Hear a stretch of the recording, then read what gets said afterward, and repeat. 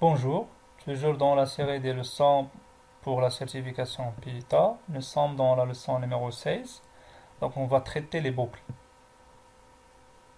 Bah, la première des choses, donc c'est quoi les boucles? C'est-à-dire lorsqu'on a besoin de refaire plusieurs éléments plusieurs fois. Par exemple, pour, afficher bonjour dix fois, donc soit on peut l'utiliser des, des instructions, des lignes, chaque ligne une instruction par exemple, lorsqu'on a besoin d'afficher euh, bonjour 100 fois ou 1000 fois, c'est-à-dire on a besoin de 1000, 1000, euh, lignes. Donc, pour éviter ça, c'est-à-dire on a la notion des boucles, c'est-à-dire je peux refaire des éléments plusieurs fois. Bon, donc, et donc ce qu'on appelle chaque fois, ça s'appelle itération. Par exemple, je peux dire, on a deux instructions pour les boucles. On a l'instruction tant que et on a l'instruction pour, c'est-à-dire while et for. On va commencer par l'instruction euh, while.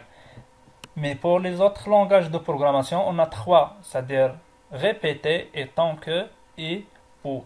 Pour le moment, on va commencer pour, euh, par euh, la boucle while. C'est-à-dire, on peut l'exécuter, c'est quoi? C'est-à-dire, on peut exécuter une instruction ou un ensemble d'instructions tant qu'une condition booléenne spécifique est vraie lorsqu'elle est toujours la condition est vraie, elle va me refaire, c'est-à-dire les instructions plusieurs fois. Tant que, donc, c'est-à-dire on peut dire tant que, tant que i, par exemple, est inférieur à 10, faire par exemple afficher bonjour.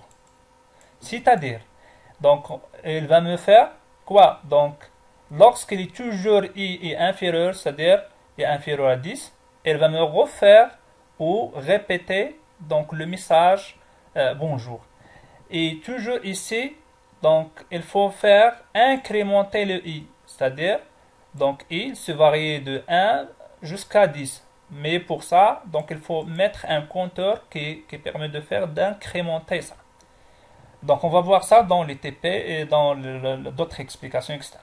On va commencer par des, des exemples ici. Bon, ici, c'est-à-dire on va dire que lorsqu'elle est, ou là, tant que la valeur est vraie, c'est-à-dire while true, on a besoin quoi? Donc d'afficher le message coincé dans une boucle infinie. C'est-à-dire toujours true, donc toujours il est vrai. C'est-à-dire elle va m'afficher le, le message coincé dans un coin, donc un nombre illimité. Mais toujours il faut faire attention pour la boucle while il faut faire des conditions d'arrêt pour ne pas donc euh, entrer dans une boucle infinie. Il faut mettre des conditions d'arrêt. Par exemple, on va mettre ici d'autres exemples. Par exemple, la boucle qui se trouve ici, c'est une boucle infinie. C'est-à-dire, elle va m'afficher, donc coincé dans une boucle, euh, un nombre illimité. Pourquoi? C'est-à-dire, on n'a pas des instructions de d'arrêt. Par exemple, on, a déjà dit que c'est quoi tant que, c'est-à-dire je peux dire la question faire ça. Par exemple, euh, je peux dire, bon, je peux dire tant que je ne veux, euh, je ne dis pas arrêtez, écrivez votre nom. C'est-à-dire ici, toujours, tu vas écrire votre nom tant que moi, je ne dis pas arrêtez. Ça, c'est la condition d'arrêt. Pour le moment, ici, la condition d'arrêt, toujours, il est vrai. C'est pour cela, donc, la boucle, il est infinie. On va prendre d'autres exemples. C'est-à-dire, on a déclaré une variable qui s'appelle euh, compteur. Donc, et on a initialisé, c'est-à-dire, on a, on, a déclaré une variable et on va on a mettre 5 ici. Et je dis que lorsqu'il est, tant que donc, le contour est supérieur à 2, vraiment, pour le moment, il est supérieur à 2. C'est-à-dire ici, lorsque je j'élimine ça, c'est-à-dire lorsque je ne fais pas ça, c'est-à-dire automatiquement toujours le compteur il est supérieur à 2, 5 toujours il est supérieur à 2, c'est-à-dire il va me montrer dans une boucle infinie. Donc pour limiter et pour euh, éviter euh, ce problème-là, donc on a, on a, on a mettre un compteur qui va me diminuer par 1. C'est-à-dire, lorsque je dis par exemple pour le moment, compteur moins est égal à 1. C'est-à-dire, on va toujours, à chaque itération, c'est-à-dire à chaque itération, ça ce qu'on appelle les itérations, première itération jusqu'à dernière itération. À chaque itération, on va diminuer le contour par 1. Par exemple, première itération, donc euh, le contour, le, le, compteur, il contient 5. Par exemple, on va diminuer par 1. Donc, deuxième itération, on va trouver, regardez, première itération, c'est 5. Deuxième itération, on va trouver 4. Euh, troisième, c'est, on va trouver 3, toujours dans le compteur. Donc, 2, et ainsi de suite. 1 et ainsi de suite. Pour le moment, on va, on va euh, exécuter ce programme-là. Bon, contour, est-ce qu'il est donc 5 Est-ce qu'il est supérieur à 2 Vraiment, il est supérieur à 2. Il va m'afficher compteur. Donc, elle va me, saisir le, message ici. Donc, c'est quoi? C'est 5. C'est la valeur qui se trouve dans le compteur. Bon, après, il va me diminuer par 1, c'est-à-dire 5 moins 1. Donc, c'est 4. Elle va me faire deuxième itération. Deuxième itération, c'est le compteur, il contient 4. Est-ce qu'il est supérieur à 2 Oui. Donc, il va m'afficher le, le compteur. Le compteur, il contient quoi? Il contient 4. Donc, on va éliminer ça. Donc, le, le, le, compteur, c'est 4 moins 1. C'est-à-dire, on a ici, c'est 3. Donc, on va, il va me refaire l'itération. Donc, est-ce qu'elle est vraiment 3 supérieur strictement à 2 Oui, il va me afficher 3. Et donc, on va euh, euh, euh faire diminuer le compteur par 1, c'est-à-dire 3 moins 1, c'est 2. Donc 2, est-ce qu'elle est supérieure à 2 Donc non. Donc pour le moment, il va me quitter la, boucle. C'est-à-dire, il va me ficher 5, 4, 3. Ça, c'est la boucle que. On va passer vers la boucle pour. Toujours pour, avant d'expliquer euh, c'est quoi pour, toujours la boucle pour, c'est exécuter euh, plusieurs fois un ensemble d'instructions. C'est la même chose que que.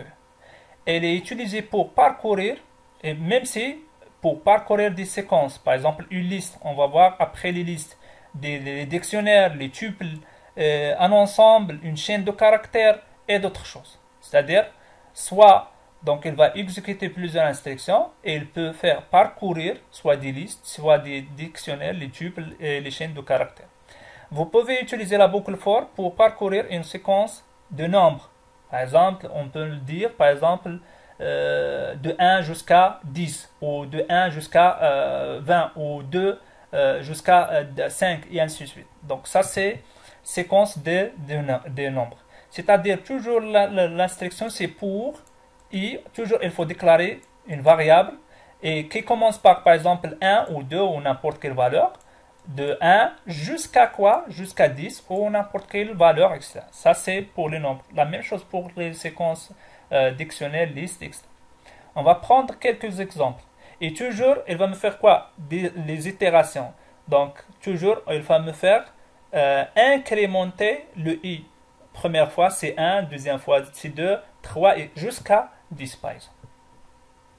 L'exemple qui se trouve ici. Bon, on a déclaré euh, une variable qui s'appelle mot, et on a ajouté le texte, le chaîne de caractère paysan, et on a déjà dit que pour pour, for, chaque, on a déclaré une variable qui s'appelle lettre et un mot. Donc, c'est-à-dire, il va me parcourir la chaîne de caractères. Première fois, c'est P. Deuxième fois, ça, c'est-à-dire, il va me faire parcourir la chaîne de caractères P. Donc, il va m'afficher quoi? Lettre N. C'est-à-dire, la première itération, I, lettre, elle contient quoi? P. On est là, c'est-à-dire, elle contient P. Donc, il va m'afficher P étoile. Après, elle va me refaire deuxième itération, c'est-à-dire le curseur il va, se déplacer vers deuxième élément, c'est Y, étoile. Après, T, étoile. Après, H, étoile. Après, O, étoile. Après, N, étoile. Et après, donc ça c'est la fin. Donc elle va me quitter la boucle. Ça c'est le premier exemple. Deuxième exemple, toujours on a, c'est-à-dire ici on a besoin de, faire euh, parcourir une, séquence de nombres, c'est-à-dire de 1 jusqu'à 10. Mais 10, il n'est pas inclus. 10 n'est pas inclus. Toujours, on va utiliser ça, c'est avec la fonction range. Range, donc ça, c'est, on va, on va discuter sur ça après. Mais pour le moment, donc on a déjà dit que i, c'est-à-dire euh, c'est une variable qui parcourir de 1 jusqu'à 9. On a déjà dit que 10, il n'est pas inclus. Comment? Donc, c'est-à-dire, il va me faire combien de fois ici? Combien d'itérations? 1 jusqu'à 9. C'est-à-dire 8 itérations. 1, 2, 3, 4 jusqu'à 9. Donc, toujours, ici, regardez ici, l'instruction for, et toujours on, a fait une, on a fait une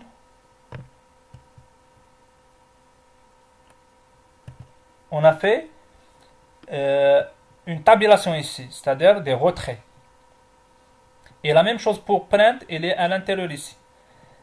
Bon, on va tester est-ce qu'elle est le i? La première fois, première itération, c'est i, il reçoit 1. Première itération, c'est i, il reçoit 1. Est-ce qu'il est, donc le moduli avec 2, est-ce qu'il est égal à 0 Non, c'est différent, euh, différent à 0, c'est-à-dire, il va me passer donc vers l'autre instruction, c'est-à-dire, il va me pas exécuter ça, c'est à l'intérieur de if. Lorsque la condition est vraie, on va exécuter ça. Pour le moment, donc ça c'est faux, c'est-à-dire on va passer vers deuxième itération. C'est et il reçoit quoi? 2. Donc 2, on va tester est-ce qu'elle est 2 Module 2, est-ce qu'elle est divisée par 2 Oui, le reste c'est 0. Donc il va m'imprimer euh, i. Il va m'imprimer quoi? 2.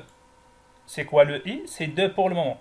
Après, c'est quoi la troisième itération? C'est-à-dire toujours i elle va me basculer de 2 vers 3. Donc 3, est-ce qu'elle est divisée sur 2 euh, Non. Donc elle va, donc pour le moment, on va passer vers, ça c'est 3, on va passer vers 4. Donc ici, on ne va pas afficher le i. Donc 4, est-ce qu'elle est divisée sur 2 Donc oui, elle va m'afficher 4. Donc ici 5, cinquième itération, 5, est-ce qu'elle est divisée? Non. Donc on, va, on va passer directement vers 6. Est-ce qu'elle est divisée sur 2 Oui, elle va m'afficher ici. On est pour le moment 6e sixième itération. Euh, 7, est-ce qu'elle est divisée? Non. Donc 7 n'est pas divisé. Donc huitième itération, 8. Donc elle est divisée par 2, on va l'afficher 8. Donc après le neuvième élément, c'est-à-dire est-ce qu'elle est divisée? Non donc on ne va, on, va pas afficher donc 9 et il va me quitter la boucle. Pourquoi? Dernière itération, c'est, on a déjà dit que 10, il n'est pas inclus. Donc le résultat, il va m'afficher 2, 4, 6, 8. Bon, pour le moment, on a cité les deux boucles. Donc, euh, while et for. On va faire un TP.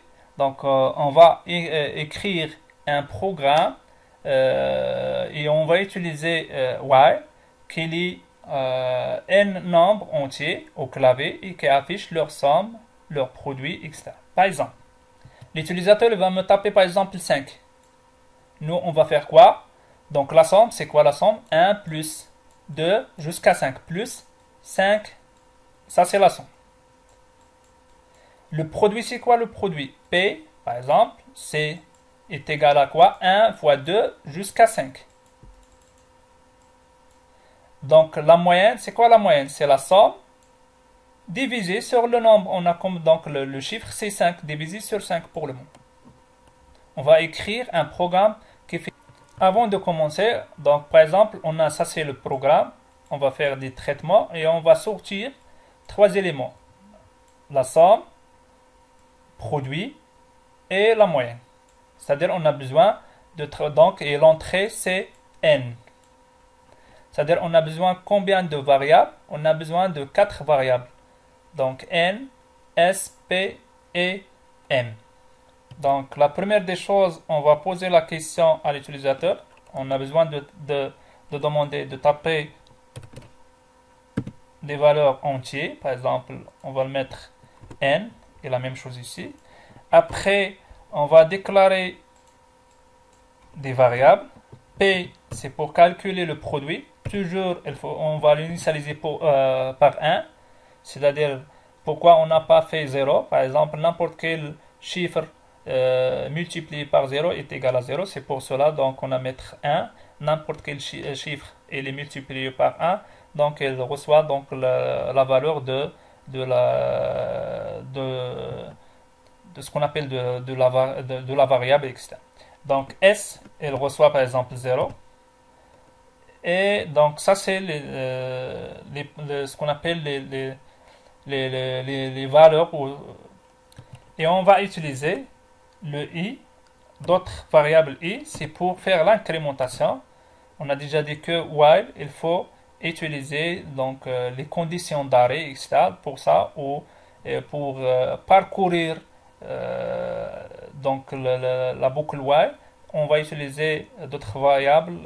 c'est un compteur qui permet de faire de compter le nombre d'itérations, etc.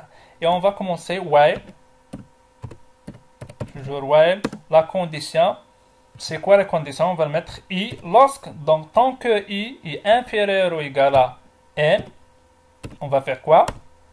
On va compter la somme, c'est quoi? La somme Normalement, c'est par défaut, on a initialisé par 0, plus est égal à 1, c'est-à-dire on va ajouter, pardon, on va ajouter euh, toujours i, l'itération, Parfois, par, donc, la première itération, c'est le 1, c'est 0. Pardon, on va initialiser ici par 1. C'est-à-dire, on a besoin de commencer par 1. Pourquoi? Lorsque je mettrai ici 0, toujours dans la, multiplication, il va me mettre, donc, euh, multiplier n'importe quel chiffre multiplié par 0, il va me donner 0. Toujours, il va, dans le produit, il va me donner 0. Donc, pour éviter, éviter ça, on a initialisé donc, et, euh, dans 1. Donc euh, le produit, c'est toujours euh, multiplié par i. Et ça, c'est normalement le, produit et la somme. Pour éviter d'une boucle infinie, il faut faire l'incrémentation de i. Toujours l'incrémentation par 1.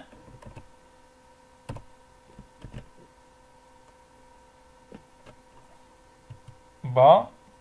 Pardon. Donc, finalement, on a besoin de faire quoi? D'afficher, c'est-à-dire après la boucle, c'est-à-dire on va mettre le curseur ici. On a besoin d'afficher quoi? Prendre. Donc, euh, la somme est, égale à quoi? Virgule. On va saisir S, somme. La même chose ici, le produit est, le produit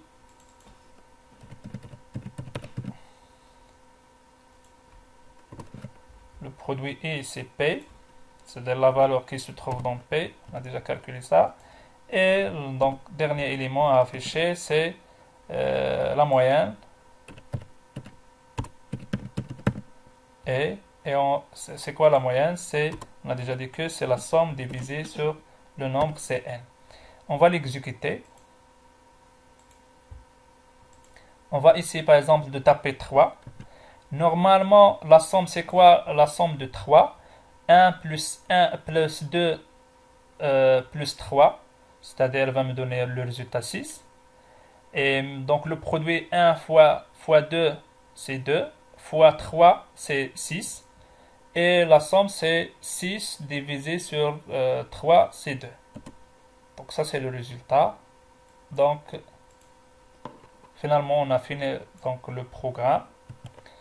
On a déjà vu pour le moment les boucles, la boucle for et la boucle euh. Donc c'est toujours dans la leçon numéro 16. Merci pour votre attention.